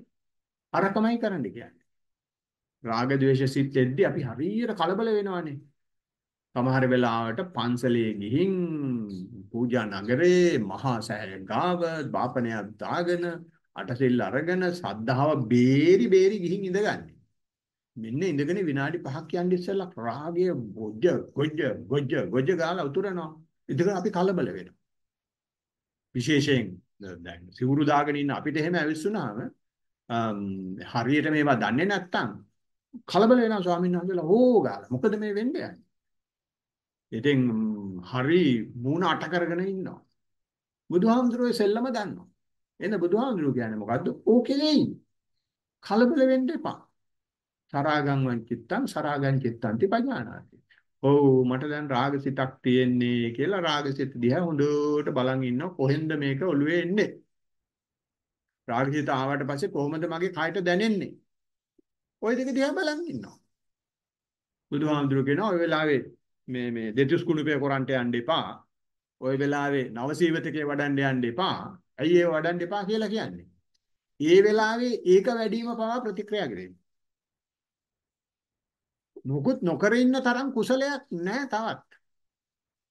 එහෙනම් බුදුහාමුදුරුවෝ සබ්බ පාපස්සා අකරණ. මොක කෙරුවත් පාපයක්. බුදුහාමුදුරුවෝ ඉපදිච්ච ගමන් කිව්වේ මොකද්ද? විසංකාරගතං චිත්තං තණ්හානං කය මජ්ජගා කියලා. මේ සිත විසංකාර කරන්න අපි යන්නේ. එහෙනම් මේ වගේ දෙයක් ආවට පස්සේ දැන් කෝටක් ගාලා හොයලා දෙතිස් කුණුපේ අරගෙන මතකත් නැහැ නකා දන්තා මේ හතර වටේ දාන පටලිලා මේක කියවනවා. ඒ එහෙම කලබල වෙන්න අවශ්‍ය නැහැ. මේ හිතට යනකම් අපි අර කමාන්ඩින් කමාන්ඩින් ඉන් චීෆ් අල්ලන්න යන වෙලාව. ඉත කලබල නැතුව මේ වෙලාවෙත් අර වගේම අපි ස්පයි කරන්න ඕනේ. ඒ වගේම රහස් ඔත්තු රහස් පොලිසියෙන් යනවා වගේ ඔව් සරාග සිත් තියෙන්නේ සරාග සිත් දිහා බලාගෙන ඉන්න. Tamange ෆිල්ම් එකනේ නිකන් හම්බෙන එකනේ. බලන්න. බැලුවා කියලා ඔක දිහා බලන් හිටියා කියලා කිසිම පාපයක් වෙන්නේ නැහැ. ඒක තේරෙන්නේ හැබැයි සත්පුරුෂයන්ට විතරයි. අසත්පුරුෂයන්ට ඒක තේරෙන්නේ නැහැ. එන්න බුදුහාමුදුරුවෝ කියනවා තමන් පඬිතෙක් නම් අච්චයන් අච්චතෝ පස්සති කියලා. තමන් පඬිතයක් නම් තමන් ගාව දෝෂයක් තියෙනවා කියලා තමන් දැනගන්න. ඒකයි පඬිතකම. ඒ දැනගන්න පුළුවන් වෙන්නේ බලන් ඉන්න මානසිකත්වයක් හැදිච්ච කෙනෙකුට විතරයි. බලන් ඉන්න මානසිකත්වයක් නැති කෙනෙකුට ඉතින් ලොකු හාමුදුරන්ටත් බයිනවා බුදු හාමුදුරන්ටත් බයිනවා මටත් බයිනවා ඔක්කොන්ටම බනිනවා. බැන බැන මේ හාමුදුරු හරියන්නේ මෙහෙම අපිට කෙලෙස් ඇවිස්සෙද්දි නොක දිහා බලන් ඉන්න කියලා කියන්න බෑ කොච්චර නරකද අපි අටසිල් අරගෙන නේද ඉන්නේ? ඔය ඉතින් හේතු ගොඩයි. ත්‍රිපිටකයත් පෙන්නනවා ප ဋ ාණෙත් පෙන්නනවා ප්‍රකරණයත් පෙන්නනවා අභිධර්මයත් පෙන්නලා මේ හේතු පෙන්වන්න හදනවා. ඉතින් මේ ඊයේ පෙරදා මම එක තැනක පොඩි වැඩසටහනක් කරුවා රේඩියෝ එකේ. ඒකදී මම කිව්වා අපි මත්පැන් බොන කෙනෙක් නම් මත්පැන් ටික සිහියෙන් බිව්වා. එයාට මේ මත්පැන් වලින් අයින් වීමේ හැකියාවක් තියෙනවා කියලා මාගා උදාහරණ තියෙනවා ඒකට ඕන තරම්. නිකන් හිතලා කියනවා නෙමෙයි. මේ එහෙම අට්ටිය සතිය උගන්නලා ඒගොල්ලෝ ඒකෙන් අයින් වෙච්චා.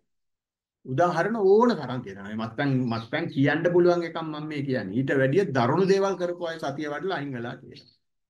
ඉතින් ඒකේ ඉතින් සමහර අය හුඟ දෙනෙක් නෙමෙයි හුඟ දෙනෙක් ඒකට බොහොම ප්‍රශංසනීයව කතා කරලා තිබ්බා. සමහර අය කියලා දෙන මේ ඔබ වහන්සේ දන්න බණ ඔබ වහන්සේ ගිහින් මේ බණ දන්න කෙනෙකුගෙන් අභිධර්මය එහෙම පොඩ්ඩක් ඉගෙනගෙන කියන්න කියලා. ඉතින් ඕක තමයි අද ලෝකයේ තියෙන බුද්ධ ආගම. අද ලෝකයේ බුද්ධ ආගම තියෙන්නේ ඩිග්‍රියේ. ලෝකයේ බුද්ධ ආගම නෑ මේ කයට හිත ගන්න එකේ.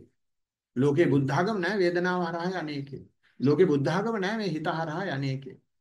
බුදුහාමුදුරුවෝ කිව්වේ මගේ පුතෙක් වෙන්න නම් මගේ දුවෙක් වෙන්න නම් සතර සතිපට්ඨානේ ඉඳින් කියලා. ඩිග්‍රිය කරගෙන කියන්න කියලා කිව්වේ නෑ බුදුහාමුදුරුවෝ. අඩුම ගානේ පාලිවත් ඉගෙන ගන්න කියලා කිව්වේ නෑ. අපි කොහෙද යන්නේ දැන්? අපි කොහෙද යන්නේ දැන්?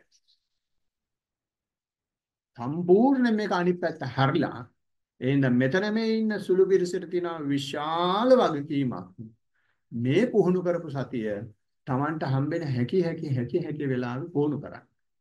ඒ පුහුණු කෙරුවොත් අපිට පුළුවන් මේ මේ බුද්ධ රශ්මිය මේ බුද්ධ ආලෝකය තව පොඩ්ඩක් මේකේ පවත්වන්න.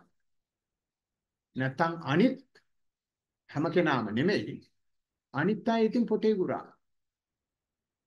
ඒකෙන් මෙන්නම සටක්වත් වෙන්නේ නැහැ. බුදුහාමුදුරුව පවා බුදු වෙන වෙලාවේ ගිහින් ඉඳගත්තේ මගේ ඇටමස්ලේ දිය වේවා මම මේක අවබෝධ කරලා විතරක් නැගිටින්නේ නැහැ කියලා. බුදුහාමුදුරුව ගියේ නැහැ. විශ්වවිද්‍යාලයක් කොහෙද තියෙන්නේ මට මෙතන මෙතනින් එහාට යන්න කොහෙද දැනගන්න ඕනේ. නෑ. එහෙනම් මේවා අපි නොදැනුවත්වම උඩි අඩි කරලා කරලා තියෙන දෙනා. වාසනාවට තියෙන්නේ මේකත් දැන් අපි ආයතනගත වෙලා තියෙනවා. මේ සතිය කියන එක. විශේෂයෙන් බටහිර රටවල් වල ආයතනගත වෙලා හිත අනිද්දා ඕගොල්ලන්ට උගන්වන්න දෙන්නේ භාවනා කරන අය නෙමෙයි. සතිය ගැන ඩිග්‍රියක් තියන අය විතරයි. එතකොට ඉතින් දෙවි පිහිටයි කියලා ගහගත්තර කවන්නේ කුරුසයක්. බුදු සරණ නම් හම්බ වෙන්නේ නැහැ. මොකද අපි අපිත් කැමතිනේ මේ ක්වොලිෆිකේෂන් එකක් තියෙන කෙනෙක් ඇවිල්ලා වැඩ කරන්න. මේ කැලේක ඉන්න හඩු හාමුදුරු කෙනෙක් ඇවිල්ලා කිව්වට දන්නේ නැහනේ හාමුදුරුවෝ දන්නේ නැහනේ අපිටත් ඕන මේ කොහොම හරි දැන් 50 overs බලන්න යන්නේ. 20 overs උත් වැඩි. අපිට ඕනේ 5 overs වලින් මැච් එක ඉවර වෙන විදිහක් නේ. අපිට පුළුවන් ඕනේ 2 minutes වලින් නූඩල්ස් හදාගෙන කාලා පස්සේ කැන්සර් හැදුනට කමන්නේ හැබැයි ඉතින් මේකෙන් කැන්සර් එකක් හැදුනොත් මේ ධර්මයේ ගින් කැන්සර් එකක් හැදුනොත් සංසාරයක් මුළු දිගෝ සංසාරයක් හම්බ වෙනවා. ඉතින් එහෙනම් අපි මේ සම්පජඤ්ඤ කියන එක වඩන්න ඕන මුකුත් නොකර ඉඳලා වෙන අනම්මනම් කරන්නේ නැතුව මේ හිත එළියට ආවට පස්සේ හිතේ එන ඒ ස්වභාවය අපිට දැනෙන්නේ අපිව පෙරලාගෙන බිම දාගෙන තලනවා වගේ. අපිව අපිව යට කරගෙන යන මහා සැඩ පහරක් වගේ තමයි එන්නේ. බුදුහාමුදුරේක සඳහන් කරලා තියෙන ඕගය කියලා. ඒ ඕග තරණ සූත්‍රයේ දෙවියෙක් ඇවිල්ලා අහනවා. මොකද දෙවිවරුන්ට විතරයි මේ සැඩ පහරේ වේගය තේරෙන්නේ. ඔබ වහන්සේ කොහොමද මේකේ තරන්නේ කියලා. දෙවියන්ටවත් හිතාගන්න බෑ. බුදුහාමුදුරුවෝ කියනවා මම මේකට ඕනාට වැඩිය දබි ගහන්න ගියෙත් නෑ. මං එක තැන හිටියෙත් නෑ. ඒ රැළේ වේගයම අරගෙන ගියා. ඒ හින්දා සරාගං වංචිත්තං සරාගං චිත්තං පජානාති කියලා සරාග හිත එක්කම ඉන්නවා. ඒකට මුකුත් කරන්න යන්නේ නැහැ. ඒක විතරාග වෙද්දි බුදුහාමුදුරුවෝ අපි සාමාන්‍යයෙන් සරාග හිතට සතිමත් වුණාට පස්සේ මේක යන්තම් අඩු වෙගෙන ඉද්දි මගේ වැඩ හරි කියලා අමතක කරලා දානවනේ. බුදුහාමුදුරුවෝ කියන එතන තමයි අපිට වර්ධින්නේ මොකද අපි පැරලයිස්ඩ් හැමතිස්සෙම අංශභාගේ තමයි කරන්නේ. මේක පූර්ණව බලන්න මුළු රැළම පදින්න. දැකලා තියෙනනේ මුද රැළේදී රැළ පදින ඒවා දැකලා තියෙන්නේ. එතකොට මේ රැළේ භාගයක් ගිහින් නවතන්නේ මුළු රැළම පැදගෙන යන්න කියලා බුදුහාඳුරු කියනවා මේ සරාගසිත විතරාග වෙද්දි මේ කයිතෙන් මේක අඩු වෙගෙන අඩු වෙගෙන අඩු වෙගෙන අඩු වෙගෙන යද්දි ඒක බලන්න. ඒකම කයේ ඇති වෙන උද්දීපනයන්ගේ වෙනස්කමත් බලන්න. එතකොට මේ සරාග හිතත් බලනවා විතරාග හිතත් බලනවා. ඒකම කයේ කයේ තියෙන මේ sannivedanayak අපි බලනවා. එහෙම බැලුවට පස්සේ දැන් අපිට අලුත් ඥානයක් එනවා. මූ තමයි මෙච්චරමයි සෙල්ලම් ගන්න. මේක බලන්න පටන් ගත්තට පස්සේ අර වේදනාවල් වල අවශ්‍යතාවයක් නැහැ. මේ අපිට අතපය කට නාසය දීලා තියෙන්නේ. ඔය හිතේ තියෙන ඔය ස්වභාවය පවත්තන්න තමයි. හැබැයි ඒක පේන්නේ නැහැ. මොකද අපි නට නට ඉන්නවා අතපය විසිකර කර. එතකොට යට තියෙන එක පේන්නේ නැහැ. දැන් මෙහෙම කය හරහා වේදනාව හරහා හිතට ගියාට පස්සේ අපිට පේන්න පටන් ගන්නවා. ඒ ලස්සන වැඩේ අය රාග අධික චරිතවලට රාගයේ දිහා බලන් ඉඳ බලන් ඉඳ බලන් ඉඳ බලන් ඉඳ රාගය අඩු වෙද්දී අනිත් පැත්ත උඩ නගිනවා. ද්වේෂය උඩ නගිනවා. මේ ඔච්චර රාගයේ තියෙනකන් මුළු මෛත්‍රියෙන් ඉන්නේ. දකින දකින එක්කෙනාට පැණි හලාගෙන ඉන්නේ. ඇයි? ඒ රාගයේ ස්වභාවය. රාගය තියෙද්දි අපි අනිත් අයට පුළුවන් තරම් ආකර්ශනීය විදිහට ඉන්න බලන්නේ. එතකොට අපි මේ අපේ द्वේෂය තියෙනවා කියලා පේන්නේ හැබැයි මෙච්චර මේ හිටපු එකාට රාගය දිහා බලන්න පටන් ගත්තට පස්සේ මෙන්න બોලේ හොස්සලඟින් නැස්ස යන්න බෑ. කඩු කිනිදි අරගෙන කෑකෝ ගහගෙන වලම් පොලේ ගහගෙන අඩි හප්පගෙන කෑ ගහනවා. අනිත් පැත්ත උඩ නගිනවා. බුදුහාමුදුරේ මොකද මේ මේ රාගයයි දේශයයි එකම තැන තියෙන්නේ. වෛරයයි ප්‍රේමයයි අතර වෙනස ඇත්තේ තව කැලක් තියෙනවනේ සින්දුවේ. කෙස් ගහක වෙනසක්ද මොකද්ද කියලා තියෙනවනේ. අයියෝ සින්දුවක්වත් කියන්නේ නැහැ ඒ ඒකේ මොනවාද බිඳුන දා බිඳුන දා පූජාව ප්‍රේමයේ තම ආගම මොකද්ද කියලා සින්දුවක් තියෙනවා. මට මතක නැහැ සින්දු. ඒ වගේ අපිට මේ අරක බින්දිච්ච ගමන් මේක මතුවෙනවා. ඉතින් ඒක මතුවනම් බුදුහාමුදුරුවෝ මේවා දන්නවා. සර්වඥයි කියන්නේ ඒකයි. මේ මිනිස්යාගේ හිතේ තියෙන කුණු කොට බුදුහාමුදුරුවෝ දන්නවා. බුදුහාමුදුරුවෝ කිව්වේ සත්තානං විසුද්ධිය වරෙල්ල මංගාවට මං උඹලා සුද්ධ කරලා දෙන්නම්. කිසිමම කන්ඩිෂන් එකක් දැම්මේ නැහැ. ඇඳුම් ඇඳගෙන එන්න ඕන, නාලා එන්න ඕන, කහවතුරෙන් නාලා එන්න ඕන, මල් පූජා කරලා එන්න ඕන, බුද්ධ ආගමේ වෙන්න ඕන, පන්සිල් ගන්න ඕන, ගෑනුන්ට බෑ, පිරිමින්ට විතරයි, ළමයි එන්න එපා. කිසිමම කන්ඩිෂන් එකක් දැම්මේ නැහැ. සත්තානං විසුද්ධිය ළඟට වරෙල්ලා මම පිරිසුදු කරලා දෙන්නම් කියලා කිව්වේ. ඇයි ඒ බුදුහාමුදුරුවෝ මේ මරුන් බඹුන් සහිත මේ ලෝකේ පරතර නැතුව මේ හිතවල් වැඩ කරන විදිය දන්නවා. දැන් භාවනා කරන කෙනෙක් මේ தත්වෙට යනවා කියලා දන්නවා. ඒ ගියාට පස්සේ ඒක එයාගේ ද්වේෂ දෝෂයක් නෙමෙයි. අනේ එයාගේ භාවනාව දියුණු වෙන්නේ එහෙමයි. ඉතින් අපි දන්නේ නැහැ මේ රාගය විසෙදි භාවනා දියුණු වෙනවා කියලා. ද්වේෂය විසෙදි භාවනා දියුණු වෙනවා කියලා. අපි දන්නේ මොකක් හරි වෛරකම් මාරු වෙලා කියලානේ. එක්ක හාමුදුරුවන්ගේ මාරු වෙලා. එහෙම නැත්නම් හාමුදුරු ගන්න ක්‍රමේ මාරු වෙලා. එහෙම නැත්නම් මගේ මාරු වෙලා කියලානේ හිතන්නේ. ඉතින් ඒක බුදුහාමුදුරුවෝ ඒ නිසා මේවා මිනිස්යා ගැන දන්න නිසා සත්වයා ගැන දන්න නිසා උන්වහන්සේ කියනවා සදෝ සංවාචිත්තං සදෝ සංචිත්තන්ති පජානාති වීත දෝසං වාචිත්තං වීත දෝසං චිත්තන්ති පජානාති මේක සදෝ සංවිතරක් බලලා ඉන්න එපා ඒ හිත ද්වේෂසිතෙද්දී ඒක දිහා බලාගෙන ඉඳලා කය කොහොමද ක්‍රියා කරන්නේ කියලාත් බලන් ඉඳලා මේක අඩු වේගන යද්දී අඩු වේගනේ අනේකත් බලාගෙන ඉන්න. රැළපදින්න. කියලා බුදුහාමුදුර අපිට උගන්වනවා. ඉතින් මෙහෙම උගන්වුවාට පස්සේ මෙච්චර දුර ආවේ කොහොමද? මේ සම්පජඤ්ඤ නිසා. ඉතින් ඕක බුදුහාමුදුරු සම්පජඤ්ඤ කියද්දී කායානු කායानुපස්සනාවේ පොඩ පොඩ අපිව පුරුදු කරනවා.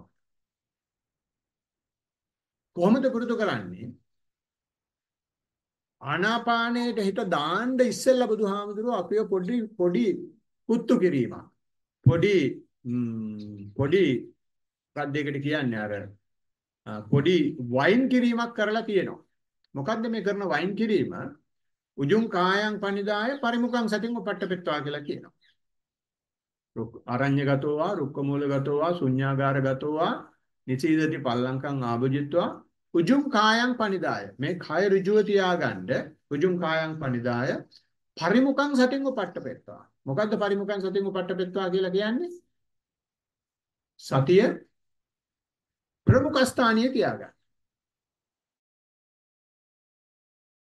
සතිය පෙරටුව තියාගන්න. සතිය ඉදිරියෙන් තියාගන්න කියලා. ඇයි ඒ? සතිය ඉදිරියෙන් තියාගත්තොත් විතරයි. දැනුවත් භාවය ඉදිරියෙන් තියාගත්තොත් විතරයි. අවධානය ඉදිරියෙන් තියාගත්තොත් විතරයි අපි වෙන්න දෙයට වෙන ඇරලා බලන් ඉන්නේ. ඒ හින්දා මේ සම්පජඤ්ඤය හැදෙන්න අවශ්‍ය කරන ආයුධය අතට දීලා බුදුහාමුදුරුවෝ වැඩේ පටන් ගත්තා. අපි කොච්චර භාවනා කෙරුවත් අපි හිතන්නේ අරමුණෙන් හිත ගිලුනොත් සතිය නෑ කියලානේ. අපේ හිත පුළුවන් තරම් උත්සාහ කරන්නේ සතිය සමානයි අරමුණ සතිය සමානයි අරමුණ සතිය සමානයි අරමුණ. එහෙම නැත්නම් සතිය සමානයි සැපේ සතිය සමානයි සතිපේ සතිය සමානයි සැපේ කියලා කියන්නේ. සැප හම්බෙනවා නම් එහෙම නැත්නම් අරමුණේ ඉන්නවා නම් ආ මම හොඳ භාවනාකාරයා කියලා කියනවා. ඉතින් බුදුහාමුදුරුවෝ ඒක නොකිය කියනවා ඒක අවශ්‍ය නෑ. උඹ සතිය ඉස්සරහින් තියන් ඉන්නකෝ. ඇයි එහෙම කියන්නේ? එහෙම කෙනාට පුළුවන් මේ එන එන එන දෙයට බලාගෙන යන්න. අන්න එහෙම කෙනා විතරක් කය හරහා වේදනාවට යනවා. එහෙම කෙනා විතරක් වේදනාව හරහා චිත්තානුපස්සනාවට යනවා. එහෙම කෙනා විතරක් චිත්තානුපස්සනාව හරහා ධම්මානුපස්සනාවට යනවා. ඒ හින්දා මේ අපිට කරන්න තියෙන්නේ සතියෙන් ඉදිරිය තියාගෙන ඉන්න එක විතරයි. අපිට ආයේ විශේෂයෙන් සම්පජඤ්ඤයක් වඩන්න අවශ්‍ය වෙන්නේ නැහැ. බුදුහාමුදුරුවෝ හැබැයි ඒකට අපි පොඩි පොඩි ඉඟි දීලා තියෙනවා ඊට පස්සේ. මේ ආනාපාන සතිය ඉස්සෙල්ලාම දීලා මේක ඉඳගෙන ඉඳගෙන කරලා නැගිටිද්දි බුදුහාමුදුරුවෝ කියනවා දැන් මේ නැගිට්ටට පස්සේ උඹ ආයෙ දැන් ඉරියව් හතරට යනවනේ. ওই ඉරියව් හතර සතිය පවත්තන. ඉඳගෙන ඉඳලා නැගිටලා ඇවිදිද්දි ඇවිදින එකට සතිය පවත්තන. ආ ගිහින් හිටගෙන ඉන්නවනම් හිටගෙන ඉන්න එකට සතිය පවත්තන. කොහොමද මේ හිටගෙන ඉන්න කය දැනෙන්නේ? නිදා ගන්නවනම් නිදාගෙන ඉන්න එකට සතිය පවත්තන. කියලා අර සතින් පරිමුඛං කියන එකට තව පොඩ්ඩක් පණ දෙනවා. නැත්නම් අපි සතිය ඉදිරි සතිය පරිමුඛං කරගෙන ඉඳගෙන ඉඳි විතරයිනේ. ඊට පස්සේ බුදුහාමුදුරුවෝ තවත් ටිකක් එහාට ගිහින් කියනවා ඔය විතරකුත් මදි. අපි තව පොඩ්ඩක් කරමු ඉදිරියට යද්දී ඇවිදිනවා වෙනුවට ඉදිරියට යද්දී ඉදිරියට යනවා කියලා දැනගන්න. ආපස්සට යද්දී ආපස්සට එනවා කියලා දැනගන්න. අත දිගාරිද්දී අත දිගාරන විදිහට හිත තියන්න. අත හකුලද්දී අත හකුලන විදිහට හිත තියන්න. කකුල දිගාරිද්දී කකුල දිගාරන විදිහට හිත තියන්න. පාත්‍රය අල්ලන් ඉද්දී පාත්‍රය අල්ලන් ඉන්න විදිහට හිත තියන්න. පිඟාන අල්ලන් ඉද්දී පිඟාන අල්ලන් විදිහට හිත තියන්න. ඇඳුමක් අදිද්දී ඇඳුම අඳින විදිහ ඇඳුම අඳින වෙලාවේ මේ කය වැඩ කරන්නේ කොහොමද කියලා බලන්න. සිවුර අඳිද්දී කොහොමද මේ කය වැඩ කරන්නේ කියලා බලන්න. අපි කවදාවත් ඕවා කරලා නැහනේ. ඇඳුමක් දාගෙන දුවේ බස් එක එනවද? කී අහන්නේ දඩ බඩ ගාලා මේව අඳින්නේ. ඉතින් එහෙම නැතුව මේ කරන වැඩේට හිත තියාගෙන කද්දි බොද්දි නාද්දි කරද්දි වැසිකිලි කැසිකිලි කරද්දි කියන්න බැරි දෙයක් කරද්දි උනත් කයට හිත තියන්න පුළුවන්. එහෙම කයට හිත තියනවා නම් ඒක තමයි කියන්නේ මේ සතින් පරිමුඛං කියලා. එහෙම සතින් පරිමුඛං වෙන එක බුදුහාමුදුරුවෝ ඔය සම්පජඤ්ඤ පබ්බේ උගන්වන්නේ ඔය ඔය අනු ඉරියව් වලට අපි හිත දාන එක. ඉතින් ඒ වගේ අනු ඉරියව් වලට හිත දාලා මේ සතිය දිගටම පවත්වන්න තමයි මේ වගේ වැඩසටහන් කරන්නේ. නැත්තම් පැයක බණක් කියලා ගෙදර අරින්න පුළුවන්. සාමාන්‍ය නිස්සරණ වනේ පයේ බැකයේ බණ නැහැ. වැඩසටහනක් දවසක වැඩසටහනක් තියෙනවා නම් අඩුම ගානේ දවසක වැඩසටහනක් තියෙනවා යන මම සාමාන්‍ය දවස් දෙකක වැඩසටහනක් තියෙනවා තමයි කරන්නේ. මෑණියව දවසක වැඩසටහන කරන්න මම කිව්වා බෑ. වැඩක් නැහැ සතිය උගන්ලා සත්‍ය සම්පජඤ්ඤය කියලා දෙන්නේ නැතුව. එක දවසේ සත්‍ය සම්පජඤ්ඤ සතිය සම්පජඤ්ඤය දෙකම කිව්වහම යන්නේ නැහැ. මොකද මේක ඔය උදේ ඉඳලා හෙට මෙහෙට ඇවිද්දාට මෙලෝ සංසාරයක් නැන්නේ ඔය කරන්නම් වාලේ කරනවානේ. හැබැයි මේක ගැල්වනයිස් වෙන්නේ මේක හොඳට කෙටිලා ඔලුවට යන්නේ බණ ඇහුවට පස්සේ. ආ මේකනේ මේ මේ කියන්න හදන්නේ. ඔක මුලින් කියන්න එපා කියලා හිතෙනවා. ඉතින් ඒ වගේ දෙවෙනි දවසේ තවත් භාවනා කරලා මේ සම්පජඤ්ඤත් කිව්වට පස්සේ ඉතින් එයා ෆුල් equipped එයා වැඩේ කරගෙන යන්න ෂම්පෝසිතයි. ඉතින් මං හිතන්නේ කාලය ඉවර ඇති. මේ කියෝගෙන කියෝගෙන ගියාට. ඉතින් මේ විදිහට අපි මේ යමක් නොකර ඉඳලා අපි මීට ඉස්සෙල්ලා දාපු නැති ඥානයකට යන්න මෙහෙම කරුවාට පස්සේ මේ සතර සතිපට්ඨානයට හිත වැටෙනවා. සතින් පරිමුඛං කියන එක නිසා සතර සතිපට්ඨානයට හිත වැටෙනවා. සතර සතිපට්ඨානයට හිත වැටෙන නිසා සති ඉන්ද්‍රිය වැඩෙනවා. සති ඉන්ද්‍රිය වැඩෙන නිසා සති බලය වැඩෙනවා. සති බලය වැඩෙන නිසා සති සම්පජඤ්ඤ බොජ්ජංග ධර්ම ටික වැඩෙනවා. එතකොට සම්මා සතිය වැඩෙනවා. ඉතින් මේ විදිහට සම්මා සතිය වැඩිච්ච කෙනෙකුට විතරක් සම්මා සමාධිය වැඩෙනවා. අපි ඒ හින්දා මේ සම්මා සත් දෙලින්ම සම්මා සමාධිය වඩන්න හදනවා. ගොම්බඳින කණු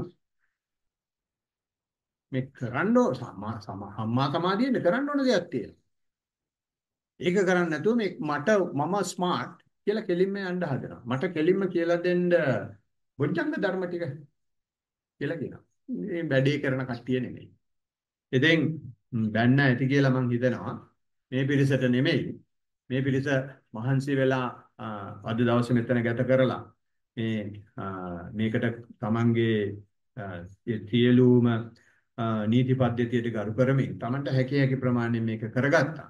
ඉතින් මේක දැන් මේ අතට අහුවෙච්ච එක අවසාන වශයෙන් මට කියන්න තියෙන්නේ මේක බිම බිම තියන්න එපා.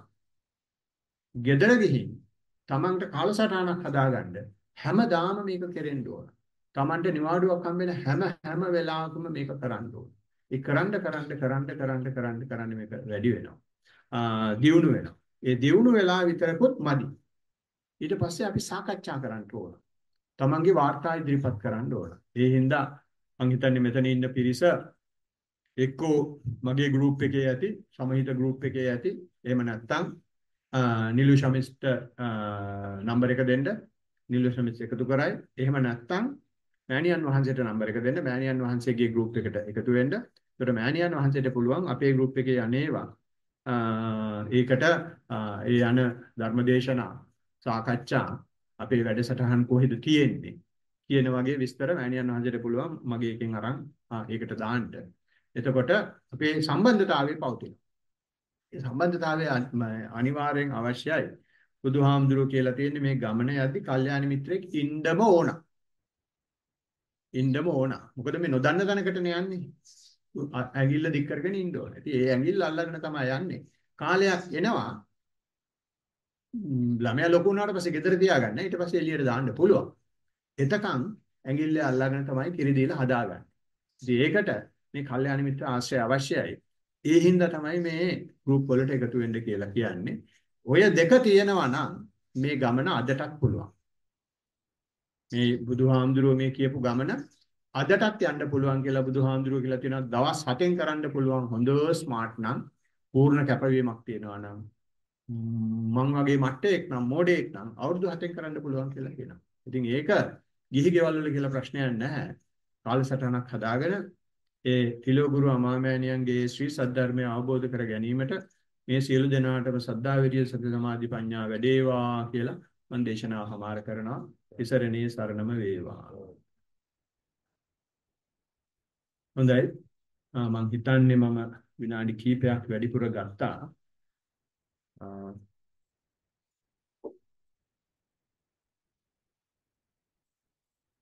විනාඩි 10ක් වැඩිපුර අරගෙන තියෙනවා. ඒ හින්දා අපි සාකච්ඡා වාරය ආරම්භ කරන්නේ පහ මාරටනේ. ඔව් පහ මාරට ආරම්භ කරනවා වෙනුවට 5:40ට ආරම්භ කරමු. එතකොට ඔයගලන්ට පැය භාගයක් තියෙනවා වාර්තා සකස් කරන්න. පැය භාගයක් වැඩිද නැත්නම් මදිද? හරි. මදි වුණත් කරන්න දෙයක් නැහැ. මම කැමති පැය භාගයට අඩුවෙන් දෙන්න. ඒ හින්දා අපි 5:40ට සම්බන්ධ වෙමු සාකච්ඡා වටිය සඳහා. ලියන්න බැරි අය ලියන්න අකමැති අය වාචසිකව ඉදිරිපත් කරන්න වාර්තාව. නිකන් නෝට් එකක් දාන්න මට වාචසික වාර්තාවක් දෙන්න ඕන කියලා. එතකොට අපි ඒ වෙලාවට මයික්‍රොෆෝන් එක දෙන්නම්. ඊට පස්සේ වාචසික වාර්තාවක් ඉදිරිපත් කරනවා. හොඳයි. අපි එහෙනම් Zoom එකෙන් සම්බන්ධ වෙච්ච සියලු දෙනාටම තෙරුවන් සරණයි කියලා කියනවා. අපි කැමති අයට සම්බන්ධ වෙන්න පුළුවන් 5:40ට ලංකාවේ වෙලාවෙන් ධර්ම සාකච්ඡාව සඳහා. තෙරුවන් සරණයි.